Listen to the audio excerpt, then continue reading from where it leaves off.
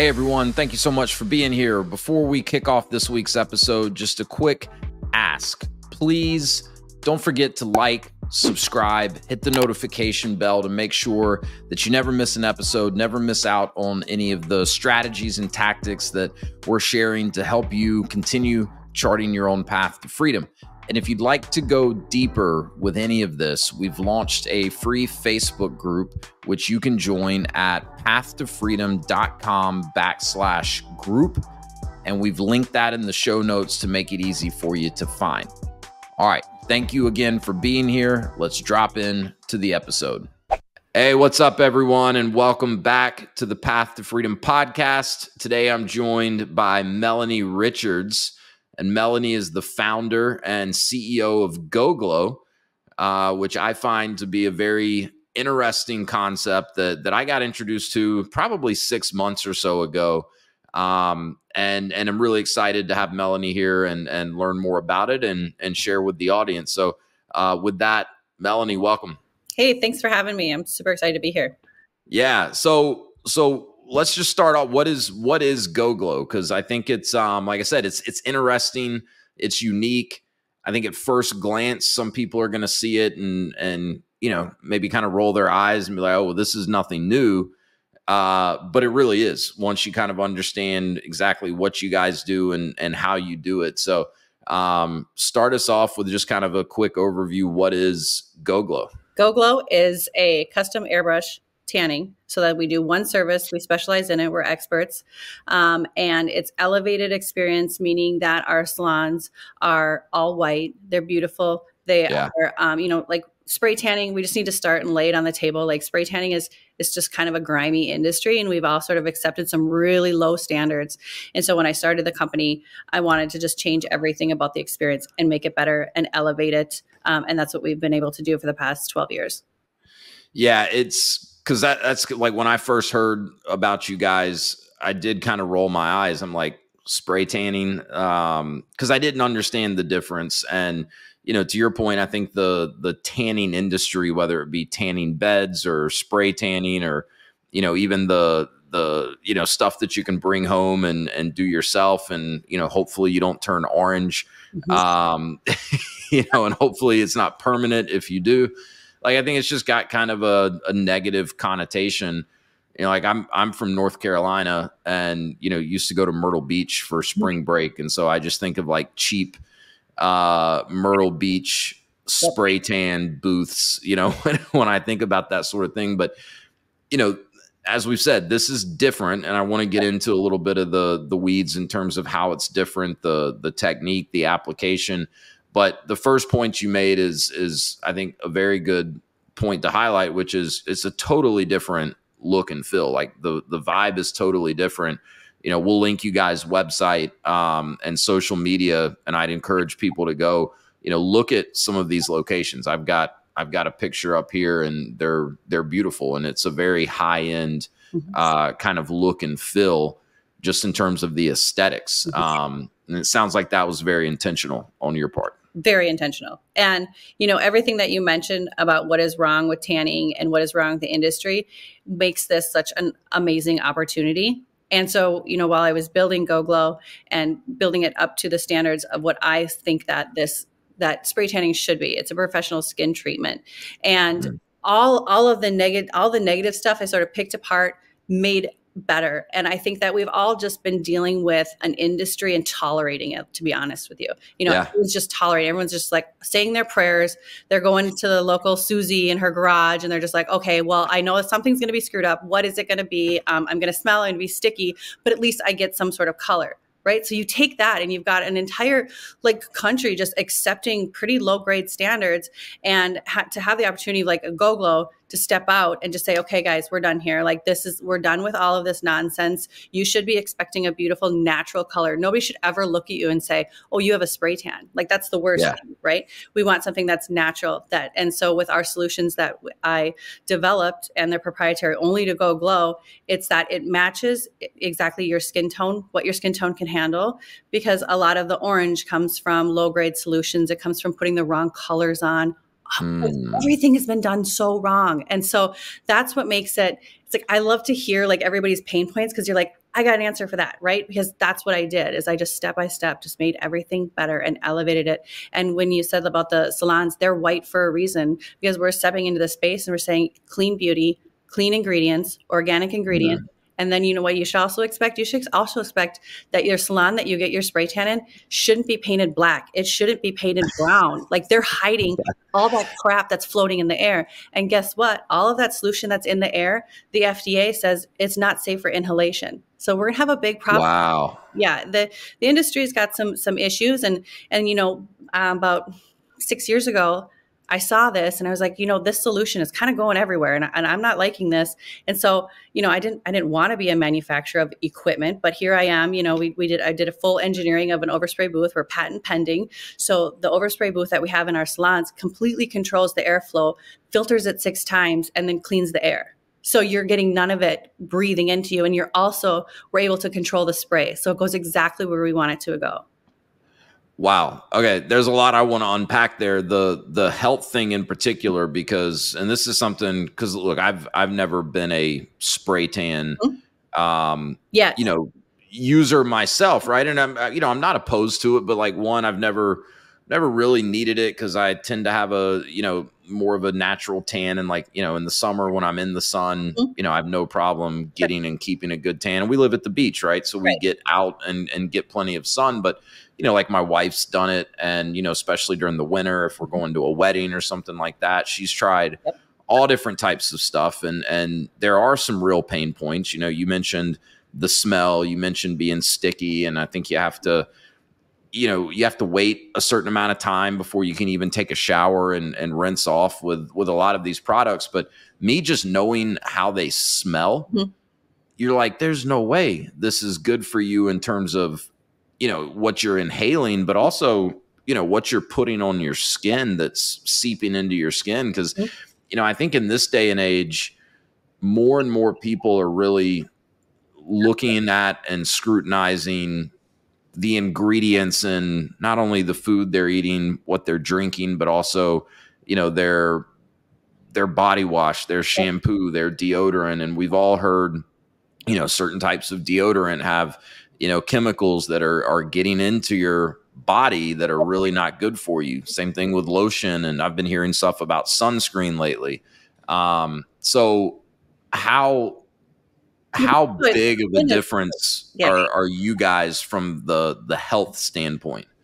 From the health standpoint that is that is you know one of the crux of why I I had to go back and look at the solutions, what the ingredients were, the high alcohol content, um, the the baseline though, and I and I really love having this piece of education for people listening is that dihydroxyacetone is the active ingredient and what that is is just a molecule that's been removed from a sugar beet. So it's a natural um, element, right? But they they mm-hmm. named it dihydroxyacetone, whatever. Everyone's, everything's got a name, but it's a sugar beet molecule, and that sugar beet molecule reacts with the amino acids on your skin and the proteins and browns it. So when it oxidizes, so it's just like if you cut an apple and you left an apple out, the air okay. the oxygen. The same yeah. thing is happening on your skin. So you take that active ingredient, and then we wrap it with hyaluronic, vitamin C, antioxidants for free radicals. So it's a skin treatment. So you take the old school of the spray tanning solutions and it was like bronzers and dyes and you know but the base the this is what's so great about spray tanning and, and it just took a I took a wrong turn really basically. But is that it's a natural process that's happening on your skin. There's nothing bad with that. What they're putting into the solutions, right, to get it out of the gun, all the alcohol, all these things. Um, I just broke down and took a look at everything and worked with a chemist to put together our own solution. And it has everything to do with the pH balance of your skin. So there's a lot of science in it, but at the same yeah. time, it's it's pretty simple when you when you break it down, you know. So yeah, and I think that you know, especially with TikTok and the trend of like 15, 16, 17 year olds, they are about skincare. They're turning those labels labels around. They want to know the ingredients. And I am just mm-hmm. like, hallelujah, you know, like, yes, yes, yes, please look at those ingredients. Um, and it's just, it's an exciting time right now because not only are we identifying and saying, hey, this is a huge pain point, we're going to be the national leader we're going to set the standards and we've got an entire generation coming up that that really cares about their skin and making sure that they're not burning they're not peeling they're you know and so you've got entire generations that that's we have a you know a, we've outsmarted the sun because we're kind of replacing the sun in that necess- in that in that part of the the process. Yeah. Definitely go out and get your vitamin D, hundred percent. But the ill effects of burning, like we used to do when we were younger, you know, I'm like, yep. I don't know how many times my nose peeled while I was at the mm-hmm. lake. You know, it's just like wild. But you have an entire generation that's coming up, and this thing is only going to get a longer, longer runway. Yeah, it's it definitely seems like good timing. Um, so I'm I'm curious though, like let's back up a little bit. How did how did you get interested in this in the first place? Like what what was it that sparked your interest to really, you know, kind of dissect how the the spray tan industry, you know, has been up until Go Glow and and you know, then you kind of saying, all right, this is broken. Mm-hmm. We need to figure out a way to fix it. Were you already in the business in some capacity, or what? What kind of drove that? I was. I couldn't have been further from the beauty industry. I was. Uh, okay probation and parole officer for uh, 14 years. Oh yeah. yeah. natural progression. you know, why wouldn't I? Yeah, um, right. so I specialized in domestic violence and working with women and children and crisis. And um, I was the probation officer on a specialized team with police officer and a prosecutor. So it was really a high intense uh, job and, and career and i loved it. I was very passionate about it. Um, you know it came a, a, a really unfortunate case um, with one of my victims who was murdered with her mother and her grandfather. And through that i, I really had to take a step back and just un, just sort of unpack the effect it had on me. I ended up with PTSD and it was just like I had wow. to testify and all of this. And it was just like, okay, well, I'm I'm I'm getting I was at that time I was getting married. I knew that I was gonna go to the kid thing and I was just thinking about pr- just processing, you know, am I doing this for the rest of my life? Because I don't think sure. I am bringing home tons of stuff. Yeah. And so I went to Aveda here in Minneapolis. You know, they're they're worldwide as far as um, uh, Ayurvedic ingredients and holistic. And so I went there for esthiology just as a way to just sort of calm my mind and, and, do something different, something creative. I graduated and I was looking, just basically going to Mexico to celebrate with a girlfriend of mine. And I'm like, well, I can't go. You, you, you could. I'm a super, super pale Minnesotan, like blue eyes. Just I, I 20 minutes in the sun, it's like done for me, right? I'm high. Yeah, especially in Mexico, like the sun just hits different down there for sure. So I went looking for a spray tan, and it was basically the Mystic Tan booth. You know those like human car washes; they lock you in. It's just like, you know, it's it's dramatic. yeah. And I just I couldn't do that. As an, I knew the ingredient, I knew it was going to be orange, but I found a makeup artist in the area, and she was doing it um, with a tiny little brush. So I literally am like, you think about holding like a spray tan position. I held it for almost an hour while this little tiny brush over my entire body.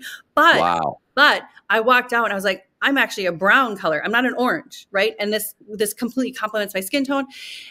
Bopping out of there, so happy, couldn't even believe it. Got to Mexico, was already in my cute dresses, looking good, and I was like, I I want this done. I want this done every week. But for me, you know, it was eighty five dollars, and this was back in 2010 that's a lot of yeah. money, you know? And I was like, I can't afford that. So basically, I maxed out. I had a $5,000 credit limit on a credit card and I maxed it out and I bought a spray tan machine and just started buying solutions and teaching myself. And I was thinking, well, I'm just going to teach my sister how to do it. She can spray me, I'll spray her but then it just kept going and going. And then i started processing well why couldn't i do this mobile? You know i'm, I'm totally bootstrapped. And so i um, after work i still worked in my full blown career.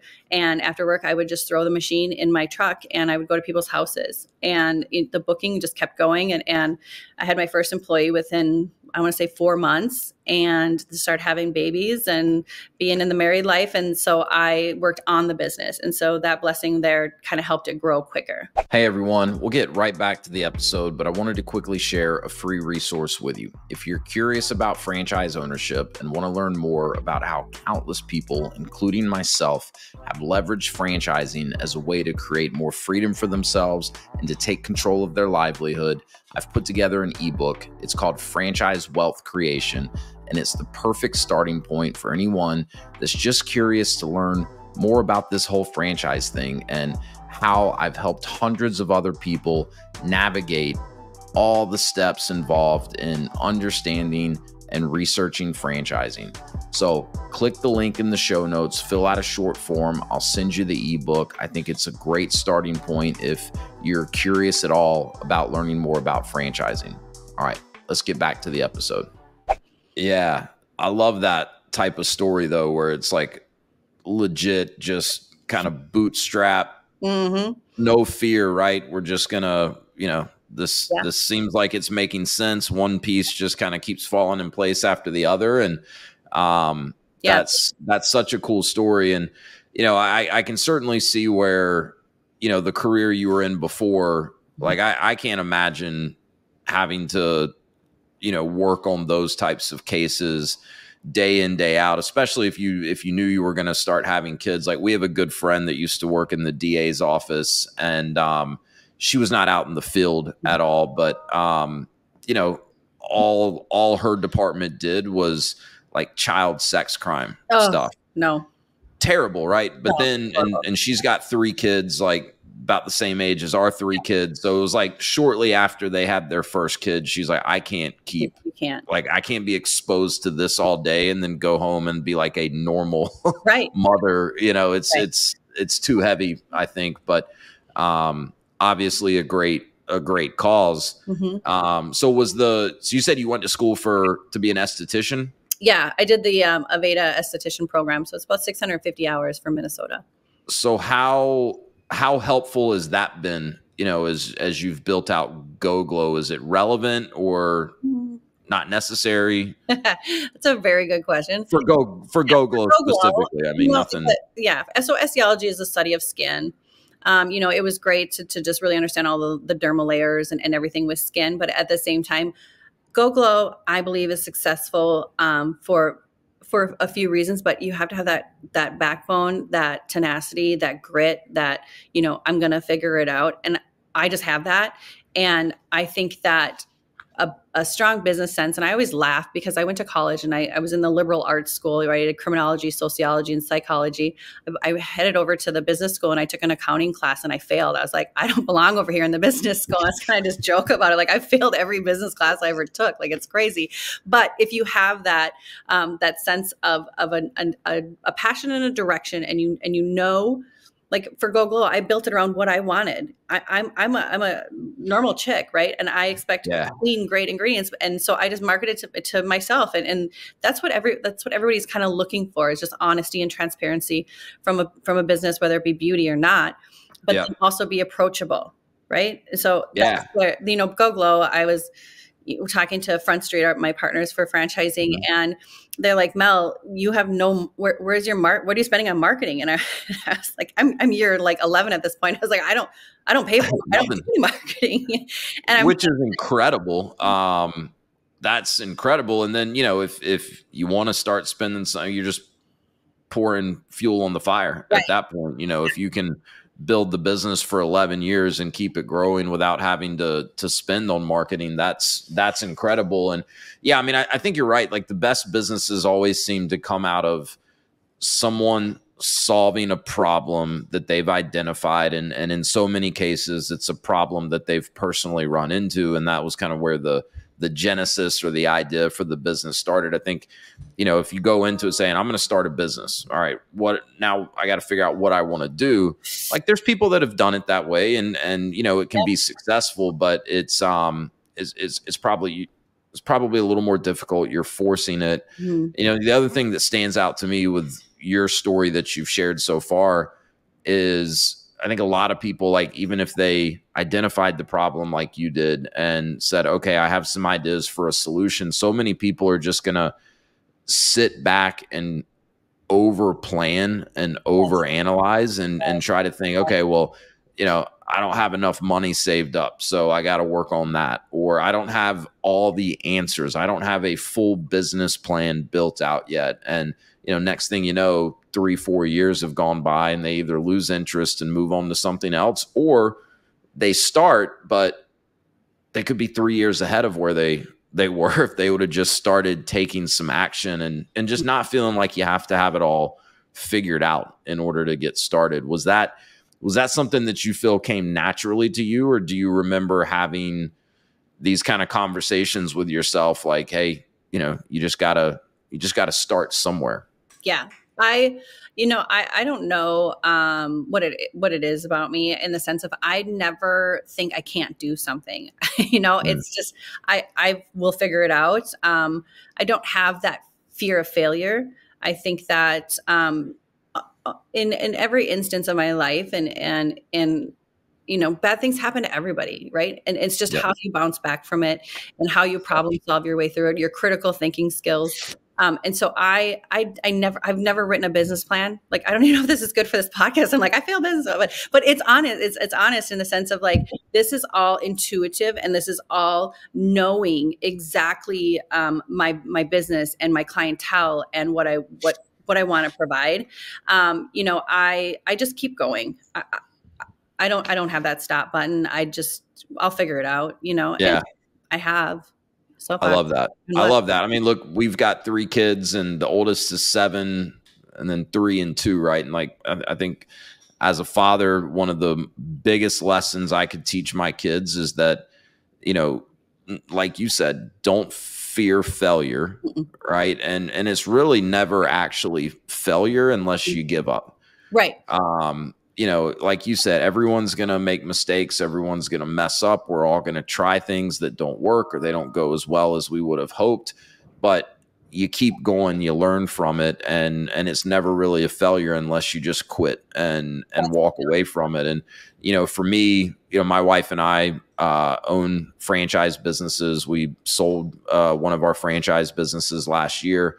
You know, we've started other businesses and like I, I, don't remember the exact moment, but at some point, you know, I, I was able to kind of flip a mental switch where I I was more afraid of regret mm-hmm. than I was of failure. Yes. Right. And I think if you can get there, yes, um, that's a game changer. And it sounds like, you know, maybe maybe your your switch has always been on, you know, when it comes to that. Whereas some people like myself, like I had to kind of, mm-hmm. you know, do some internal work and and get past it. But um, I I think that you know it's it's hundred percent that, and I, I, I think of one instance when it was um, a couple years ago, and I was deciding, am I going to franchise or am I not? Right, and I knew what I had was great, but if I didn't have the right partners, I didn't want to. nobody wants to limp out, right? And so uh, luckily I did get to partner with Front Street and, and they're they're phenomenal. But if I didn't, I was going to be thinking like, okay, Mel, but in 10 years when somebody you know nobody ha- nobody's caught up to go glow yet but thinking about it and like somebody has already grabbed that and i and i knew how to do it and and you know i knew i could have done it. The yeah. regret i would never live with that. I would never right? that. Yeah. Never. Never. Yeah and and you can't change that right? Like if you if you start and have to course correct i mean that's you can you can make changes you can pivot you can adjust but you cannot go back and fix regret. I mean, I guess you could always start even down the road, right? But to your point, if, if it's your passion, you know, you know? yeah. Like, and if there's already an industry, right, where now you're the you're the front runner in this kind of you know subsector of the larger tanning industry. Yes. You know, if you would have waited ten years, you know, there could be already several other dominant players, and now you're just kind of you know copycatting what they did, even if originally you had kind of the ideas. Um, can you talk a little bit about your partnership with with Front Street? So Eric Van Horn um, was actually on this show not too long ago talking about Front Street and kind of what they do and and you know the types of brands that they're partnered with and you know just from their perspective what what they're trying to do with Front Street. Mm-hmm. Um, but I, would love to hear a little bit from your perspective. Uh, sounds like you had the foresight to realize, hey, you know, this franchise thing is new, so yeah. it'd be in my best interest to go find some good partners. Mm-hmm. How long did it take you to to find the right partners? Because you know, Front Street Equities certainly not the only firm out there, you know, well able to help emerging franchise brands. Yes, um, in my world, it kind of was because when okay. I was building, when, when I was building Go Glow, I, I, you know, go on my morning walks and I would listen to Eric's podcast. Ah, so okay. My my first um, storefront was in Minnesota. My second one was in Chicago and River North. And I sort of made that leap to sort of test myself and to say, what if you went into a completely different market? What would happen? Could this could this stand the test of time? And, and it, it mm. did. It did really well. Still is but at the same time i was i was listening to eric. He's just uh, obviously very interesting too but processing um, if this is a franchise. And so while i'm building it for myself and building it for the next location the next location and the processes and, and making it there's a part of me that's also building it to be like if if I sold a franchise, somebody walks in, how do they do A, B, C, D, and E? So as yeah. I'm building, as I'm building the brand, as I'm building the company, I'm, I'm kind of structuring it to be like, I want to have that option. I might not take that option, but I want to have it. So Smart. around um, 20, 22 what year are we in now 22 yeah i was um i joined eric's mastermind for his for franchisors and i immediately emailed him and i was like hey eric you know i've listened to you forever but at the same time um i'm going to send you some information about my company give me the good bad the ugly like is this franchisable or not like cool like just just let me know and he uh, uh emailed me back asked a few more questions, sent him some information. He's like, I got to get my partner Jeff on this call too. So then we had our first phone call, and I just really, they're really genuine. Uh, yeah. Uh, guys, they're very passionate about franchising. They're very passionate about bringing quality and yep. consistency. And you know, when you when you meet people or you partner, you're just to me the most important thing is their character Mm-hmm. And then everything from that, then you go to the next step and you go to like their experience and everything. And so these guys are, are truly just really solid human beings. Um, yep. Yeah. So then we went through the whole due diligence and everything. And, and then you could see how like Jeff Herr's brain is just on fire. It's, it's amazing to watch. 24 7. Yeah. Sheets go, you know, going crazy and it's just yeah. wild. Yeah. So, um, you know, for me, it's been Front Street and, and I got lucky and I'm blessed and I'm happy. And we have a really good um, strategic partnership. So they're there for me to help, you know, see the roadblocks. They, they say like, you know, they bubble wrap their brands and that's really true. We spent a lot of time building before we even set it up for offering. And so, you know, our, um, our second franchisee who came to us from European Wax Center. He was the uh, chief experience officer over at European Wax and took him public. Oh, wow. Yeah. And so him wow. and his wife um, bought um, some units of Go Glow. So he's our second one. And he's just like, you know, you guys are are 10, 15 years ahead of what European Wax Center was when I walked in. You know, it was like, he's when you're building it you got your head down you're just trying to you know build the best build the best. And then when somebody from the outside comes in who has all that experience and says you guys are so far ahead. Your structure is so far ahead. Um, it's just you know it's a really good compliment too and to have a franchisee of that caliber of that experience. Oh yeah. It's unbelievable. And his wife erin came from victoria's secret. She was a high up on there. So it's just oh really? wow. and the marketing is just on fire. So yeah that speaks volumes because I mean, European wax is mm-hmm. massive at this point. You know, clearly one of the leaders in the uh, the waxing space, and um, yeah, to to to hear, hey, you know, your brand because you started franchising in 2023, is that right? Correct. Yeah, so you're a year in, if that, at this point. yeah, right. So you know, to hear that, you know, you're you're so far ahead, but you know, it sounds like you had the foresight to start really documenting the mm-hmm. the processes uh, even before you had decided that franchising was for sure the way you're going to go. So I think that's something you don't see all that often, or at least you know from from my perspective, I don't see a lot of times. It's you know five, six, however many years into the business, and then the idea of franchising starts getting kicked around, and, right. and a lot of the necessary things have not really been done. So you got to go back, and then you know the foresight to partner with uh, someone like Front Street Equity. I, I, you know, it doesn't surprise me that you're you know as far along as you are, and um, I don't know Jeff as well as I know Eric, but Eric's been a uh, a, huge mentor to me over the years and, and a good friend. But um, I've learned so much from him, and and those two guys. I mean, their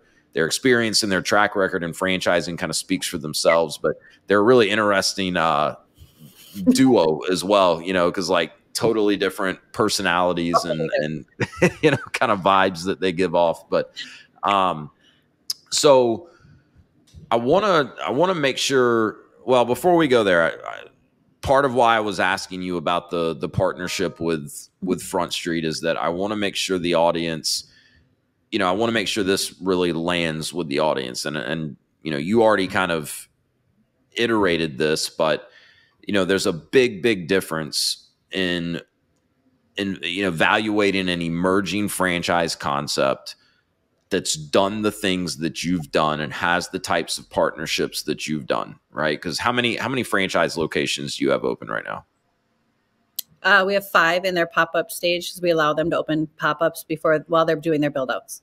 Right, which I, I definitely want to talk more about that. All right, so that's I mean pretty small, right? Compared to a lot of the franchises out there that someone could be investigating. Mm-hmm. Um, and a lot of people almost immediately write off an emerging brand, right? Hey, if they don't have a hundred, you know, locations open, I'm not interested because I want the track record. I want, you sure. know, all the data, you know, of, of how the franchisees are performing. And I believe there's a lot of candidates that that is the direction they should go in, right? They're probably not going to be the best fit for something that's that's a little more early stage, but there's challenges with that. Finding good territory is tough. Um, you know, it it, it can feel a lot less entrepreneurial mm-hmm. for you as the franchise owner if you plug into a very established, very mature system, right? Like if you were to newly become a McDonald's franchisee today, like you don't really need to put your creative hat on very often because oh. McDonald's has just got it dialed in, right? Like there's this is the way we do it and we don't really vary from that at all. I think a lot of people that are exploring business ownership, they want to get into something where yes, there is systems and processes and support. There's kind of some guardrails, but within that room to think creatively and yeah. uh, have a little more autonomy and and really feel like an entrepreneur. So um, I, I I wanted to just kind of reiterate that point that in my eyes, you know, when when a young brand like GoGlow has done the right things up front and partnered with the right people, you get the best of both worlds. Mm-hmm. You know, right? You get everything that attracts people to emerging brands, right? great territory yes. wide open in most markets at this point, right? More entrepreneurial. To the leadership team. That's right. I'm yeah, that's a huge one. Yeah. So they're they're getting all of my brain dumps about like, you know, grassroots and what I did here, what I did there. I'm texting with them all, you know, all the time. Yep. And I think that access to to this beginning phase isn't for everybody and we don't want you know we're very particular who we're bringing on right now because these people have to have that entrepreneurial spirit that, that spirit of figure it out. We're going to give you the we're going to give you the structure. We're going to pour everything into you. However you're still a business owner. Like yeah. don't forget that part of it you are the business owner. We'll get right back to the episode in just a minute, but if you've been considering business ownership, if you're already a business owner looking to expand and you're curious about franchising, I'd love to connect with you answer any initial questions that you have, talk about a specific franchise, and detail the exact process that I use and have taken hundreds of people through to help them understand franchise ownership, find the right franchise for them, and conduct the necessary due diligence. Click the link in the show notes if you'd like to schedule a free, no obligation strategy call. I look forward to talking with you. And now back to the episode. Yep. Yep. And I think, like you mentioned, grassroots, right? Like that's where, you know, in in most of these franchise businesses, there there should be room for autonomy, right? And because everyone's going to have their own style, right? Their own, uh, you know, way of communicating and different ideas of how they can get out into the community and create awareness. I mean, everyone's got their own circles and, and networks, and that's where you know you're probably seeing some of this already with the the handful of franchisees that you have. Someone goes out and tries something, you've maybe not tried it before. They come back and like, yo, check this out. This is what I did, and you know, we got ten clients from it, or, or whatever the success story is, and that stuff starts to snowball yes. uh, over time. And that and, becomes um, the next franchisee or say, this worked, let's try, you know. And so they, yeah. they like when we talk about the entrepreneurial spirit, this is exactly what it is. You may yeah. come up with GoGlow, but watch this. You're going to help build this amazing structure too you know and yep. i think that's why i just keep going back to the, the partners that we're choosing right now it's a two-way street we're very um, you know we're we're very uh, concentrated on who exactly what their spirit is what their tenacity is what their mm-hmm. resilience is you know because this is an emerging brand but the payoff on that is like you get the best territories. You're going to get, you know, when when the national PR hits, holy cow, you know, it's you you're the one. You're the one on the block there, you know. So yeah, th- there's there's payoffs, but you have to have the right person. You have to have the right character.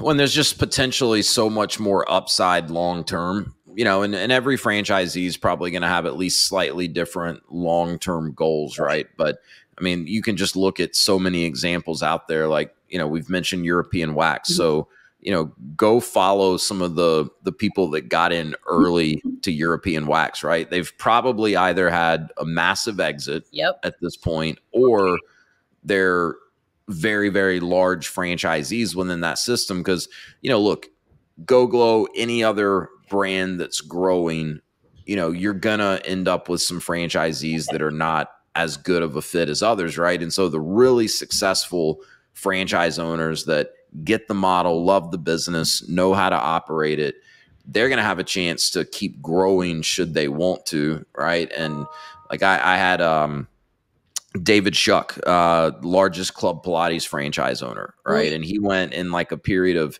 two or three years. He went in and got some private equity partners to to really bring some capital in, and went from like you know, six or eight locations to like 30 some locations. Now he's 60 plus, and I think the rights to develop another 30 more. But he did it through a combination of opening new locations and nice. acquiring existing locations, most of which were franchisees that were kind of you know below average performers for for whatever reason mm-hmm. um so anyways tons of upside you know not that there's not in in other brands as well but but, but that's franchising you know, when, and I, I think that some people lose sight of that um that how how you can actually build your own structure within a franchise system and have an yep. exit. It's not just about the franchisor who's getting the exit. Like this is crazy. You go to these conferences in Vegas and all these pri- private jets are flying in. These are franchisees. Yeah.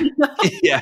Yeah. Well, I've started on the podcast. I've started doing like a short little uh, segment once every every week or two, uh, just kind of spotlighting some of these really cool stories of franchisees that have built yeah. freaking empires for themselves. Yeah. And you know, in that I've incorporated like some prof- uh, professional athletes and celebrities that have gotten involved in franchising. But you know, I always like to highlight, you know, it, not the Shaquille O'Neal's of the world, right? Like this guy David Shuck yeah. You know, he played college basketball. He started with a Liberty Tax franchise, you know, in his 20s, right? seems to be the genesis for a lot of people. Isn't it? Isn't, that- Isn't it? It's it's funny. There's a lot of uh, people doing big stuff in franchising that that got their start with uh, with Liberty Tax. So, um, you know, kind of back to Go Glow. So, can you kind of walk us through like you've you've touched on it, but I want to make sure the audience gets kind of a clear picture of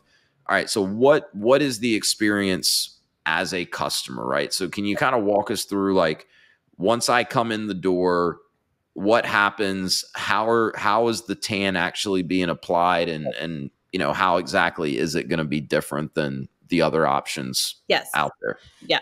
So when you walk into a go glow um, like I, I said earlier it's you know they're, they're bright they're white they're um, aesthetically like you just feel so much better already. And yeah. you know, the the we have um spray tan specialists. We don't have like where you can c- come in and you're just like, I, I just want to see Amy, you know, or book with Amy. You're booking a Go Glow, and so every one of our specialists are trained to the top. And so that's what's also very attractive in as far as labor model and, and that sort of thing is that yeah. they're all trained and you come in for a Go Glow. And so, um, you know, your first, if we do a skin consultation. We take a look at the tone of your skin. We take, we talk about like, what did you what what products did you prepare with? Because it has everything to do with um, you know the outcomes. We talk about like a 90% is is basically how you prepare and we can do the specialty of the 10% and and the and the products and and the quality of the solution. But if you come in and you have you know like dove soap on your ph is all messed up that's going to definitely affect the outcome. And so we do a great um, consultation of like what's on your skin? How did you prepare? How did you exfoliate?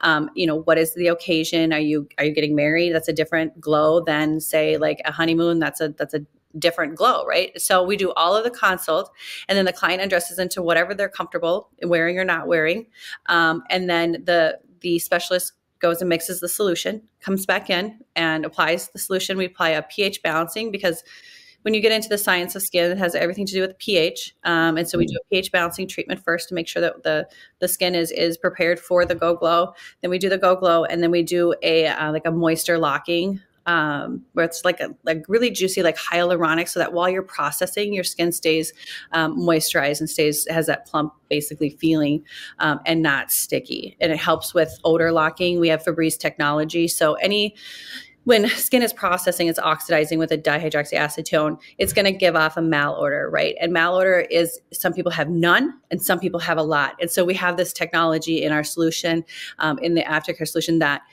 catches that malodor and and stops it from being released. So you don't stink, right? So a lot a lot of men actually joke and they're like they say, you know, I can smell when I walk in the door if my wife has gotten a spray tan, right? Yep. Just that smell. Ugh.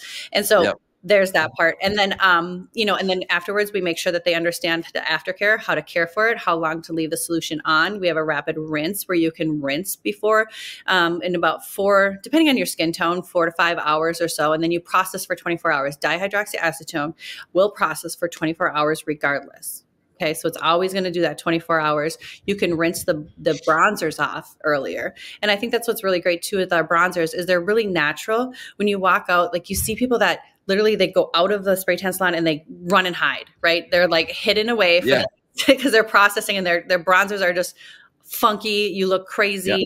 Um, with Go Glow, I wear my bronzers. I'll go to an event wearing bronzers. I don't even rinse because it's there's just that natural glow color. It's not a heavy, cakey, tan, gross, right?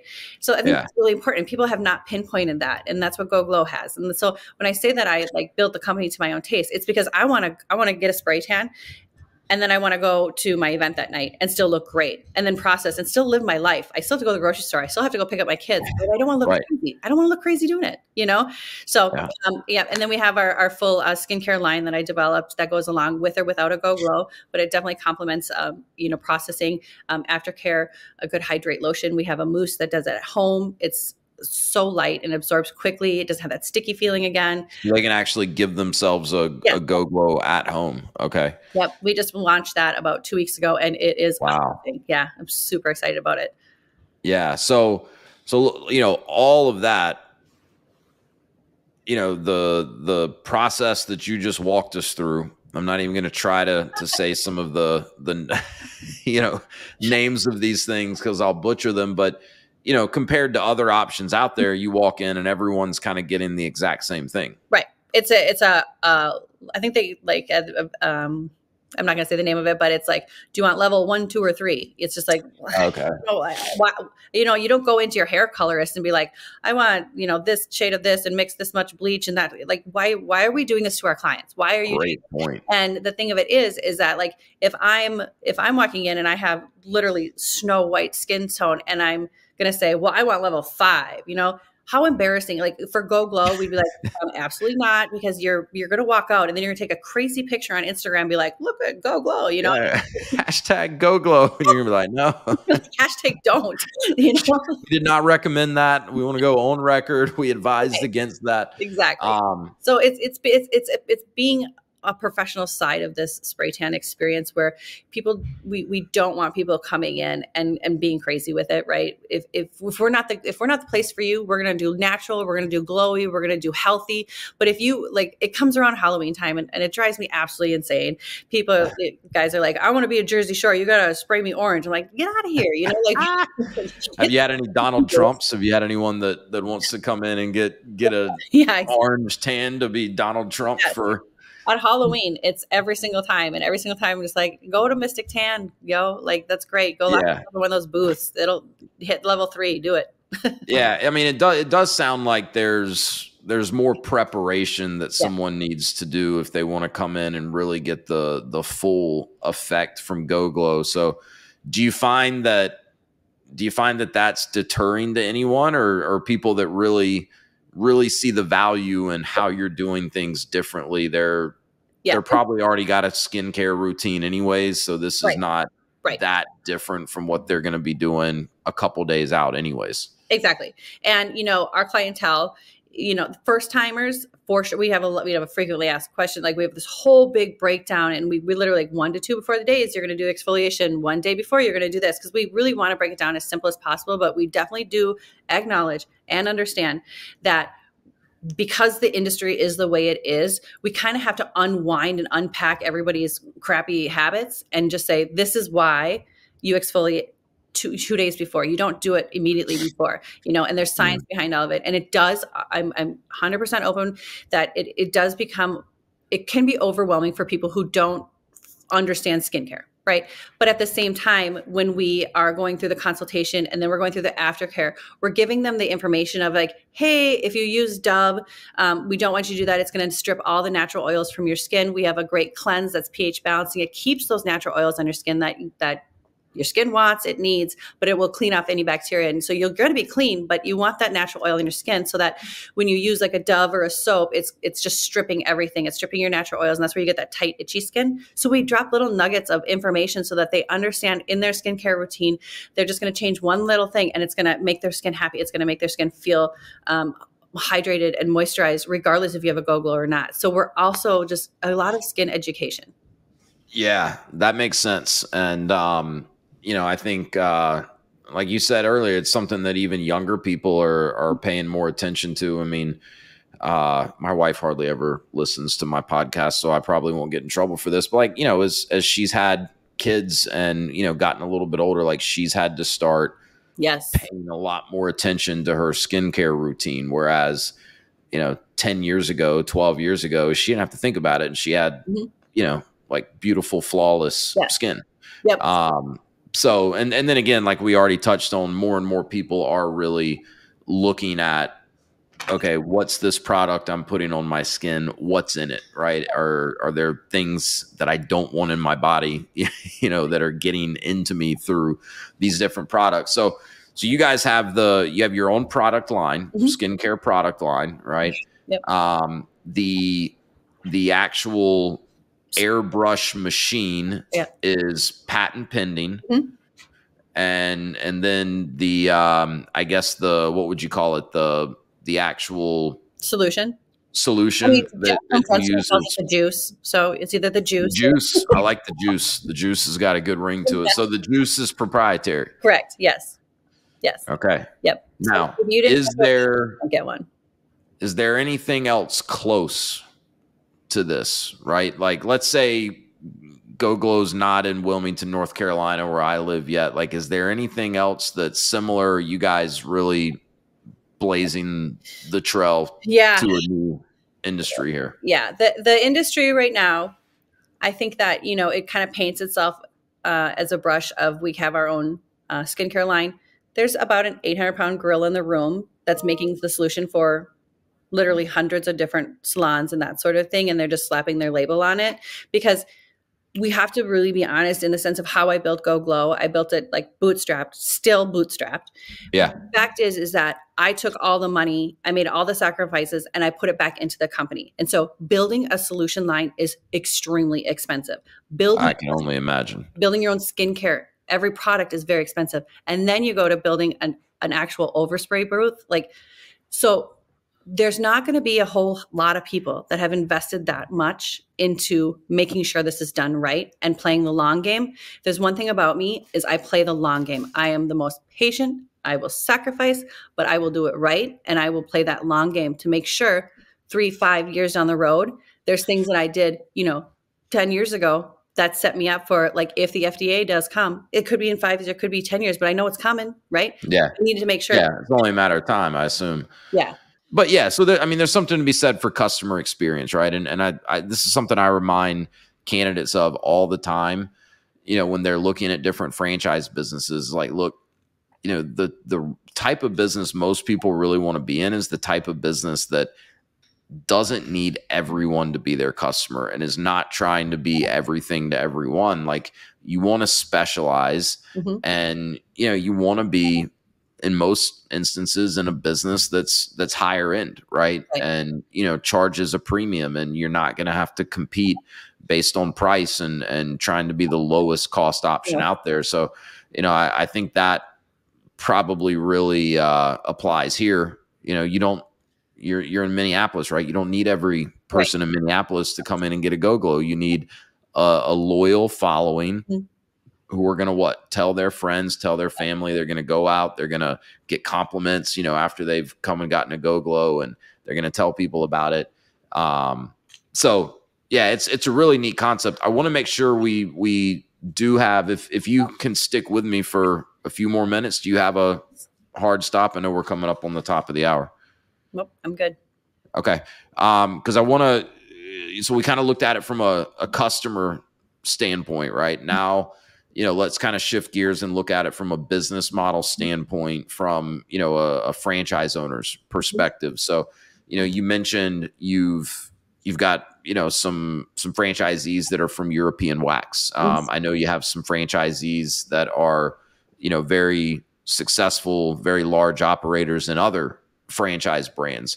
Um, what is kind of the the role of the franchise owner? Like, how should the franchise owner spend most of their time? Is it flexible, right? Like, I imagine like your European wax franchisees are probably not working, you know, in your studio mm-hmm. uh, day in day out.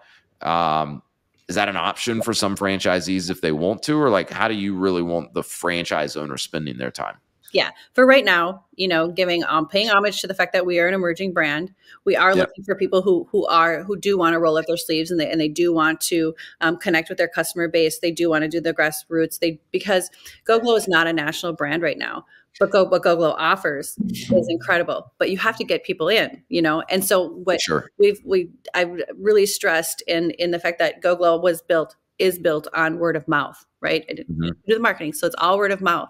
And so we really want our owners now to be out in the community making those relationships because people want to support business owners. They want to support Melanie. You know, they want to support yeah. Jessica. That's who they want. They want to see a face. And then so, you know, right now we look for people who are who are really either uber experienced they have a team like we have a, a very large franchisor from another system that that did take down quite a quite a few go glows but that's a rarity right? So most of ours are the ones that are like they they love the brand they they believe in the brand they know what the brand feels like and you know can see the response of our customers really raising us up. You know as far as minnesota you couldn't start you couldn't pick like anywhere in the united states to start a spray tan company that could be worse than Minnesota, right? We're like we're literally in snowsuits like eight months of the year. Like nobody's seeing skin. However, yeah, you don't care if you're tan or not, right? And so I know that a lot of people take a look at the FDD and they took take a look at the numbers and they're just like, well, if that can happen in Minnesota, like let's look deeper into this business. Um, and there you go. It's yeah. a simple service. It's it's a super. You know, I say it's easy, and they're you know my brother-in-law uh, laughs and he's like, Mel, you you got to stop saying it's easy. It just you made it look easy, right? and I'm like, okay, fine fine. But at the same time, it's it's a single service. We've perfected it. We've drilled into every single you know process possible. We have a learning management system that we've built out. So if everywhere from the owner down to the employee, your training system is is your entire training program is at least seventy percent done for your employee online all the oh, ingredients, oh, wow. everything. And then so once, you know, the training is quicker. It used to be 20 hours for us for every single employee you know that's if they're picking it up quickly. Now it's you know we can get them on the learning management system. They can learn all of the products and everything. And then you know in person it's the technical skill of spraying because we have our own yeah. proprietary way of doing that as well. Um, yeah so you know right now it's it's a different owner than it will be in three years 100% yeah but it sounds like primarily you want your owners kind of being the face of the business in the community not necessarily right in the location spraying right, right. no no no yeah exactly day in day out yeah we have probably good probably good if they know how to do it right and yeah. you know it's not like a foreign concept to right. them but um they're they're you know other than building and and managing the team and obviously mm-hmm. you know the the business itself you know monitoring the the key metrics and you know making sure uh big adjustments don't need need to be made. It's it's getting out into the community creating awareness. And you know to me this is this is such a good business for grassroots and word of mouth. Mm-hmm. Like i'm, I'm sure there's a place for paid marketing and advertising. And you know if you advertise to the right people you know it's it's obviously going to help and it's going to create some awareness and, and right. drive some business. But this is prime you know to me for just you know get out get people to try it get people talking about it right. create a buzz on social media and um right. and and people will will start coming and um what's what's kind of i'm sure this kind of varies from one market to the next like you said minnesota's long harsh winters mm-hmm. where i live it's you know you're you're definitely in like short sleeves and and yep. stuff mm-hmm. a lot more out of the year how many times would someone typically come in say a year uh, yeah. as a, as a customer? Yeah. So we had it broken down. It's about um, 30% of our clients will come once a year. They're coming for spring break. You know, they're they're usually the busy moms who are just kind of in the weeds with kids. Like I've been there. Like I have an, an eight year old and an 11 year old. So I'm coming out of the weeds, however, but yeah. you know, when you're in it, you're in it. Right. And so oh, yeah. she'll, she'll come about once a year. She'll make sure she has her go glow for her, her spring break and everything. Um, and then, you know, you have another 30% who come about once a month. And then, oh, wow. okay. Yeah, exactly. And then um, the other is about 20, 25% are going to do about four times a year. And then you have your diehards, right? And they're coming twice a month. Boom. Love yeah. the diehards. Um, yeah. Um, okay. Well, that's, that's really cool. And so, uh, what size location are, are you kind of recommending, um, for the for the final location because you guys are also doing something unique that that I think you kind of alluded to earlier. But you know, for the yes for the permanent location, what uh what kind of is the ideal size? The ideal size is fifteen hundred square feet. So we are competing oh, wow. a whole lot of other concepts. However, but it's a it's a small footprint. Um, you can pack in um, quite a bit per square foot of um, you know output, and it's about six spray rooms. Um, so okay, wow, yes. yeah, and that's that's, that's not a huge space at all. No, fifteen hundred square feet, and you can have so you could, in theory, you could be servicing six customers simultaneously right. out of 1500 square feet. Right. That's huge. My, yeah. My Edina store, um, it, it's 15, like 1570 and we have eight spray rooms and we are packed eight spray rooms spraying, um, in our busy season. Wow. It's bananas and what what does a uh, and again i know this varies but um is are most like so you know you kind of said uh you got your diehards that are coming a couple times a month. You got people coming once a month. Like are they just paying per visit? Do you have membership options where you know they can buy a package x number of sessions per month yeah. What does that look like? This goes back to, you know, when I was building the company, you know, I started around 2010, 2011, and I was really just, we talked about it earlier, like just really trying to tear myself away from the tanning industry. And so at that time, it was before boutique fitness. And so memberships were always like, did you get a tanning membership? You know, so I was like, I'm never doing memberships, you know? So I, oh, okay. Yeah. Until just literally uh, three months ago, we released packages. Um, and I guess I just. Memberships are cool again. Yeah, exactly. And, and I think it's just because I had my head down. I was just working and everything was doing, was doing great that I didn't think about doing memberships. But now memberships are second nature. Everybody has them well, at boutique fitness and, and they're convenient and they're easy. And, you know, you get, we get uh, discounts on our skincare service. They're just easy, right? And so, yeah. um, you know, we just launched it, and uh, it's it's getting a really good um, response. And our franchisees, um, they launched a founding membership program too. So, you know, it's it's one of those things where, um, you know, I wish I'd have done it sooner, but at the same time, it's like I, I, I was head down working, and we were doing great. So not only that, but it, it makes sense to me that, you know, like at that time you, you didn't want to do a membership, right? If there was negative connotations mm-hmm. out there because of some of these tanning bed memberships and other spray tan memberships, like it, it was probably the right call 100%. Uh, to not roll out a membership, right? Because that may have turned some people away. Literally, membership was like owned by the tanning industry and the tanning beds. Like if you had a membership, yeah. you had a tanning bed. It wasn't at a club. It was, you know, it was just like that's a tanning bed. Yeah, no, that makes sense. And then so you know, a typical location, six uh, mm-hmm. um, spray rooms. How how many employees do you need to staff? You know that for a typical day. Is it one per spray room? Do you need someone at a front desk? Yeah. So we don't do a front desk. It's just our specialists. Um, Good. I like that. Women only. Um, yeah. We don't. Generally, people aren't going to walk up and be like, "I want to get a spray tan." You have to prepare for these things. You have to plan for them. Women know that. Men know that.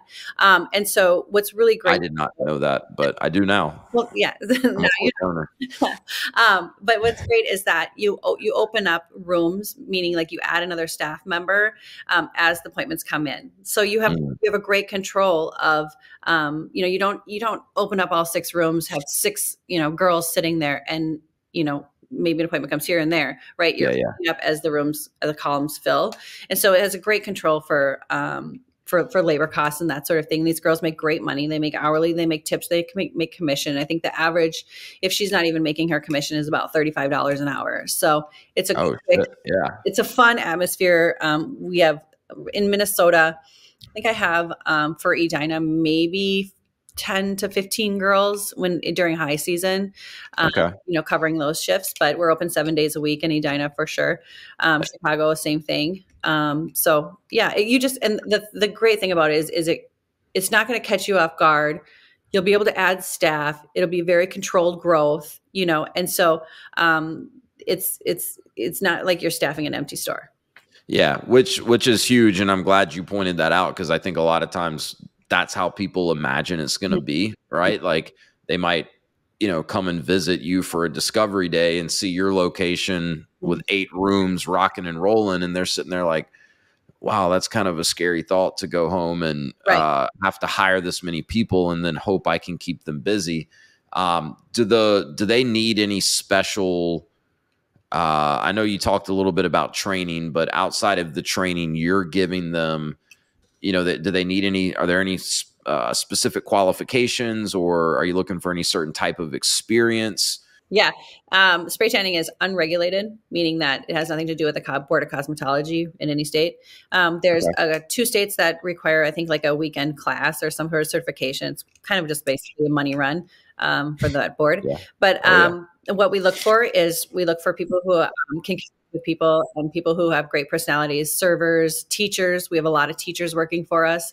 Um, they like to kind of get away from the classroom and just be around um, healthy, happy people. Adults. And there's a huge dynamic between, you know, when I worked in probation and working with criminals and like all that. I didn't realize until you're around happy, healthy people that oh, there's really great people around, right? And so I think that same thing. Not that, not that you know, you know, students aren't happy, healthy people, but they're they're they're uh, definitely a stress drain. And I think being around in a Go Glow is just people are happy to be there. Our clientele are phenomenal. Like they're it's just a happy, great place to be. Um, and so that attracts a lot of people and a lot of college students. It's a great. I wish I had it this job in college. It was great money. you know? Yeah, it sounds easy. like they they can make really good money, and you know, this is something that that I spend a lot of time talking to my candidates about. Right, is you know the the whole why behind you know this motivation to get into business for themselves, and you know, it's why you know I call you know I name my business the the podcast is Path to Freedom. Like freedom is always you know like usually the number one driver uh, for someone to make a move into business ownership. And so you really want to evaluate okay, what's my day to day going to be like if I own this business, right? And if you want something that's going to be lifestyle friendly and give you good control of your schedule, but Yes. also not just constantly be a stressor, like mm-hmm. look real mm-hmm. closely at, you know, okay, what what is this business providing and how do my mm-hmm. customers respond to it, right? Like Yes. the two franchises we've owned you know our stuff's all in kind of home home improvement home services but you know one is uh ShelfGenie right? And we we make these awesome custom pull out shelving solutions and you know awesome custom closet systems. And you know it's things that customers want. They don't necessarily need them. And they're high end they're expensive they're custom but they're really really good. And our clients get so excited you know once they're in like this you know you know mistakes happen from time to time something gets damaged in shipping something's running like there's Yeah. there's some stress right but the overwhelming majority of our interactions with customers are happy Mhm. uh conversations not negative stressful ones the other franchise we own which we actually sold last year was an insulation business nobody's excited Mm. to have insulation put in their house, right? And it's not fun to talk about. If you're spending money on insulation, you're not looking forward to it. We Right. worked with builders and contractors, and you want to talk about stress. Like, you know, it was a pretty good business for us, but my my wife and I looked at each other one day and we're like, this is this is taking us in the opposite direction of what we started going down this path for in the first place. And you know, we need to move back in that direction, especially while the kids are still young. Like We don't need this stress. No. Uh, we can make plenty of money in other businesses that are not this stressful and don't have this many headaches. So um, I, I, see that with GoGlow for sure, and, mm-hmm. and I'm glad that you kind of highlighted that. Um, yeah, and there's we have um, many uh, franchisees who, uh, when they come to training, they've hired a general manager or they've hired their first employee, and we train that employee. So no, we don't have everybody, you know, every business owner in there spraying. They know how to, just in case something should happen. But me personally, I have not worked, um, you know, a shift in GoGlow in I don't know eight nine years, right? Because you're, you're good. You, the, you you want you want to make sure that you know you, you hire the great girls, and it's it's a very controlled, fun place to be. They take care, they take pride in it. They're independent. Um, they love the brand. They want to do the best for it. And another thing with with you know the the feeling of a Go Glow and the um, user generated content, like our Instagram is our clients, right? And so our clients have, like I said earlier, like they've just sort of risen Go Glow up and they hold it very close. I know in Minnesota and Chicago, people are very like very attached to our story and, and attached to our brand. And I think that's that's what you're going to bring to your community too. Is you're going to have a whole set of of yeah of young professionals who are just like GoGlow is is it's it's it's changing because it's changing the game, and it, it's you're going to bring something to your community that they didn't number one they didn't know they they needed until they get it on their skin. And then they're telling every single person. That's the thing with beauty. And that's the thing with with like new treatments or whatever. You're going to tell your friends. You're going to tell your sister. And it goes like wildfire. So that word of mouth, once you get a GoGlow on the skin, it's like forget it. You're, you're you've got five people right there, five new clients. Hey everyone, we'll be right back to the episode, but one quick note: you know, success doesn't happen in a vacuum. So if you'd like to learn more, you want to go deeper and interact with like-minded people, I'd love to have you join the free Path to Freedom Facebook group. You can join by going to pathtofreedom.com backslash group and become a part of the Path to Freedom community.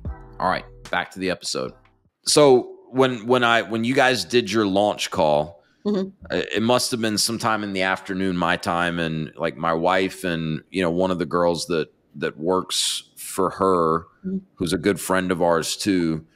Uh, they were they were here, and so anyways, I I come down from my office after the launch call, and I'm like, hey, what do you guys think of this? Like, I had them pull up GoGlow. I was like, you know, they, they're saying it's it's you know number one, it's it's healthier, right? It's not toxic, mm-hmm. but you know, you're not sticky. It doesn't smell bad. You don't have to wait so long to to shower, or at least rinse off or whatever. And they were both like, "It sounds too good to be true, but if that's true, hell yeah!" Like, you know, it it really is hitting all the the pain yeah. points, you know, that I think most people have. And I and I totally see it being, you know, great word of mouth business. Mm-hmm. Uh and very social media friendly. Like this, this would be a fun, easy business to market on social media before and after pictures, yeah. you know, getting people to to tag each other and um yeah, it seems like it plays really well to yeah. social media. Yeah, it's it's so. especially like, you know, when I talked about earlier about the long runway and and the young kids are during prom season, we are absolutely packed. The lobby is if you didn't go if you didn't get go to go to go to get your like prom, it's like one of those things where like why didn't I see you at Go Glow? You know, where, where did you go? yeah, yeah. Not good enough. Yeah. Like everyone's got to go to Go Glow. So it's you're gonna get dumped the day before the prom to to someone that did get their Go Glow done. Um, so talk about the pop up because because I want to make sure we hit on that. Yeah. Uh, you you alluded to it earlier, but but kind of explain that to us. Yeah, so we we allow our partners once they found their real estate. So we want to know exactly where the lease is signed, where where your where your storefront's going to go, so that you can choose a salon suite um, concept around you that's close enough. So if you're you're building your business, you're building your base, you're training these people to come to that area. So we make sure that we have a lease signed um, on your storefront, and then you're able to. Uh, we ship out a machine, and it's a you know one room salon. We have a concept um, open for uh, in Minneapolis here to show our our prospects, but it's it's amazing. It's just in you know a salon suite and you're able to build your clientele you're able to get brand awareness while you're doing a storefront build out because we all know those are nightmares. They could take six eight months you know easy, yeah. small spaces and it's such an easy build. It doesn't matter nowadays. It's just they're just it's just a rough process. It's very stressful. So if you can take your mind off of building out and just watching money leave right you want to be like i want to be building my brand. I want to build a brand. I want money to come in. I want to i want this on everybody's skin. And so you get the chance to do that in a salon suite it's so true. uh, that because even you know if if these pop-ups are you know single room I'm, I'm sure they're making some money right but but nowhere near what the potential is once you're you know into your actual location and you know six or more rooms but just that mindset right where you're you're seeing money fly out Right. for such a long period of time before you're even in a position to do any business and generate any revenue it can be discouraging it can be exhausting and and people can freak out during that period. So i want to make sure the audience kind of kind of follows what you you said there because this is you know obviously a storefront business. Yes. you know so in most franchises that are brick and mortar you know you're you're probably at minimum six months but more realistically nine to 12 months for most brick and mortar concepts to Yeah. actually open doors for business you know once you've signed the franchise agreement and, and a lot of it depends on how big of a location how hard is it to find the right location and actually sign a lease and then how complicated is the the build out and GoGlow is simpler, you know, than a lot of franchises out there. As we've already talked about, you don't need a huge space, and and it sounds like it's a fairly simple build out, but it's still probably going to be minimum six months, and that's if everything kind of just goes perfectly, and you right? think about the the process of you know you you basically you research you do all your research and you finally fall in love with the brand that you want to be in and, you, and you're just so excited about it you sign your franchise agreement and then you go into real estate and then you're just like oh and you got six eight months and you just sort of you, you just for Go Glow, we get to keep it on that high note. Like, great. Yeah. We've, had, we've had franchisees within 90 days, they're opening up their salon suite. Like, that's super fun and exciting. And they've, they've kept that excitement and that enthusiasm and that whole thing where, you know, we say to them, we're like, hey, just so you know, real estate and um, construction are, are the worst things to like any human to go through as a business owner. They're just they're Yep. just awful. But at the same time, distract yourself with building your lo- like location already. Like it's I love that. really great feeling and it's a good opportunity and you know it it just it it lightens the load. It lightens the load a lot.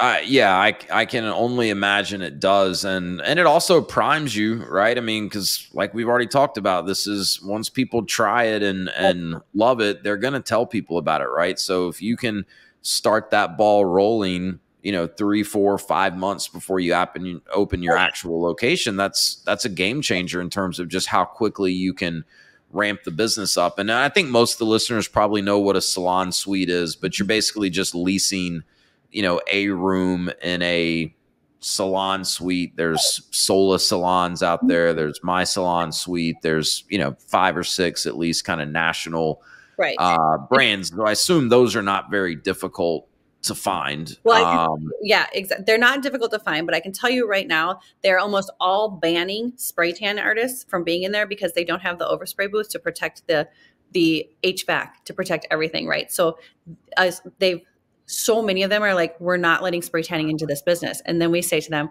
but it's a Go Glow. Let, us show you the equipment. Let us show you that I oh literally wow suite that is painted all white in a hundred square foot room, and the room is still pristine white.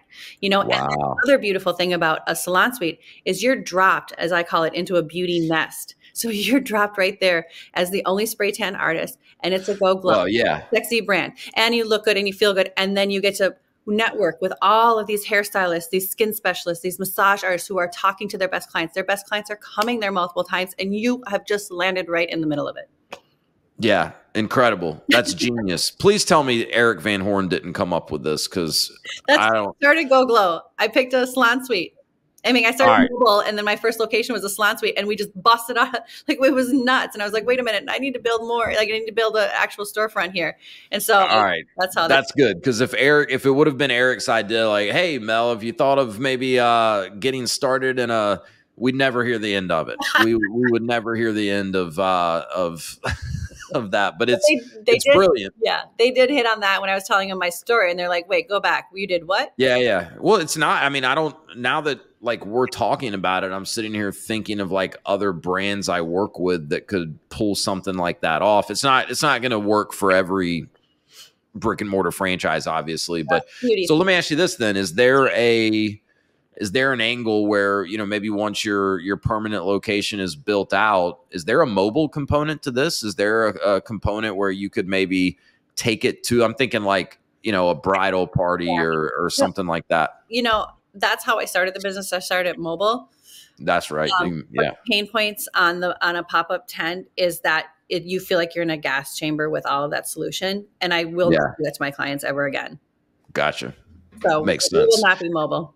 What's funny is you talk about this. So I think I mentioned we we owned an insulation franchise, right? Uh, which is not as fun to talk about as this stuff, but we did a lot of spray foam mm-hmm. insulation, right? Which is, you know, you got these two 50 gallon drums with different chemicals. Mm-hmm. One's a resin, one's a chemical. They mix together, they come out of the gun. Uh, all types of protocol, right? From you know respirators and yeah. safety equipment, and you had to watch overspray. There's a certain technique, and and if your employees aren't uh, well versed in that technique, you know you lose a ton of product, which is very expensive. I mean, there's just all these things, um, and I never thought about that for like traditional spray tans. Mm-hmm you know where the overspray and so like in the beginning when you were talking about how your locations are white and that was intentional because no other spray tan place could have white walls because of the the stain on it i was like wow that that makes a lot of sense so so these um, that we are patent pending are um, a huge component of the future of GoGlow. I love it. Well, it seems like you have a glowing future in front of you. Sorry, I had to yeah, I had to do it. I like it. I had to do it. I couldn't help myself. um, but no, this is this is fascinating. This is this is a really interesting concept, and um, I'm glad that you were were able to come and share more with me, share more with the audience. Um, is there anything I didn't ask you today that you think is worth noting, or or that you wish I would have asked you? No, I think we had an amazing conversation. I can't believe it's been this long because it's just like it was so easy and so fun and so like great, great. And I I love talking about GoGlow. I could sit and talk about it for hours. Um, and I just you know I'm excited for this whole opportunity. Yeah, well, it's uh, I think you've got a, a fast paced uh, but uh, very bright future in front of you, and uh, look forward to working with you. Where should people go if they want to see if there's a GoGlow in their area, find you on social media, if they're interested in franchise opportunities? Call me first, but yes, uh, where, where, else could they go? yes, you go to goglow.co, not .com. So it's goglow.co. Our Instagram is at underscore goglow and LinkedIn, goglow, G O G L O W. Sweet. We'll put all that in the show notes, make it easy for people to find. And I really would encourage people go check out like their Instagram page. Um, because I think seeing this is is a part of it, right? You've heard, you know, Mel described the location and the the technique and you know the the before and after pictures that I've seen are are pretty impressive. Um, so go check it out. And um, Mel, thank you so much for being here and keep up the great work with GoGlow. Thank you.